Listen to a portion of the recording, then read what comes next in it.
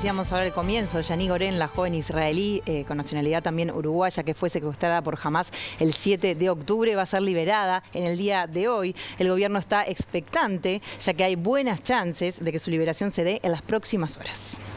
La joven de 29 años fue secuestrada el pasado 7 de octubre cuando se desató la guerra. La liberación se enmarca dentro del acuerdo alcanzado entre el gobierno de Israel y el grupo terrorista Hamas. Hasta el momento, este último liberó un total de 97 rehenes a cambio de 30 presos palestinos por día. En el acuerdo también se negoció el canje de mujeres y niños por ambas partes. Fuentes de la Cancillería señalaron a BTV Noticias que hay buenas chances de que ocurra la liberación de Yani. No obstante ello, piden ser cautos hasta que la liberación se confirme. Recordemos que días atrás el grupo terrorista liberó a rehenes y desde la Cancillería de nuestro país se emitió un comunicado en el que se destacaba la acción, pero se lamentaba que no estuviera Yani entre los liberados. Desafortunadamente, nuestra compatriota Yani Gorena no se encuentra entre las personas que han sido liberadas, se leía en el comunicado. Agregaba además que no obstante ello, la Cancillería reiteraría gestiones con países y organizaciones que implementan el referido acuerdo para que su liberación pueda concretarse teniendo presente las dificultades que suponen por darse en el contexto de un conflicto